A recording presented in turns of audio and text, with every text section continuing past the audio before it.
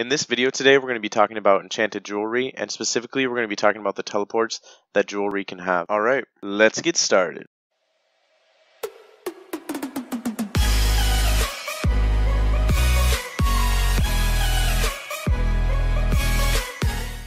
What is up guys? We are going to be talking about jewelry. So starting off, we have the Games Necklace. The Games Necklace can teleport you to Barbarian Assault, Burthorpe Games Room, Tears of Guthix, Corporeal Beast, or the Wintertodt Camp, and it has 8 charges.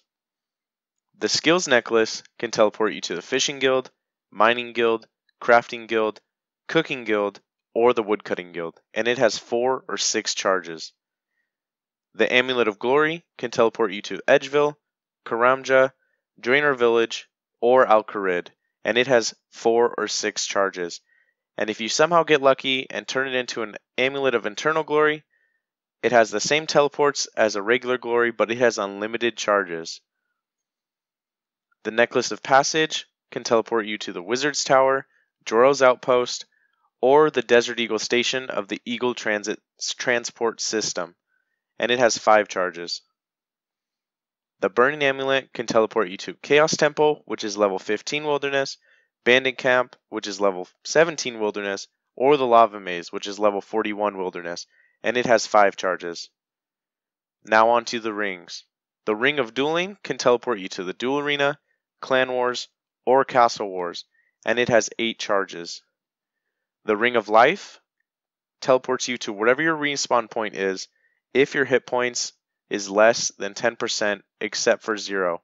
So if you're about to die, your Ring of Life will teleport you to wherever your respawn point is set, and it has one charge. The Ring of Wealth can teleport you to Miscellania, Grand Exchange, Varrock Square, Falador Park, or Dondakan, and it has 5 charges. The Slayer Ring can teleport you to Slayer Tower, Fremennik Slayer Dungeon, Tarn's Lair, Stronghold Slayer Cave, or Dark Beasts, and it has 8 charges. The Ring of Returning teleports you to respawn point, so Edgeville, Camelot, Lumbridge, or Falador, and it has 5 charges. Surprisingly, I never hear of anyone using this ring, and I never use it either, but if you set your respawn point to Edgeville, then it is much better than a glory to get to Edgeville, because it is much cheaper. Now onto a bracelet. The Combat Bracelet can teleport you to the Warriors Guild, Champions Guild, Monastery, or the Ranging Guild, and it is 4 or 6 charges. And an extra enchanted amulet is the Dig Site Pendant.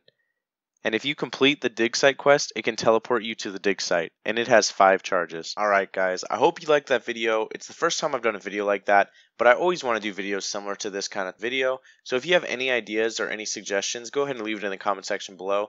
And if you did not like this video, go ahead and give me some feedback in the comment section. I'll make sure to reply.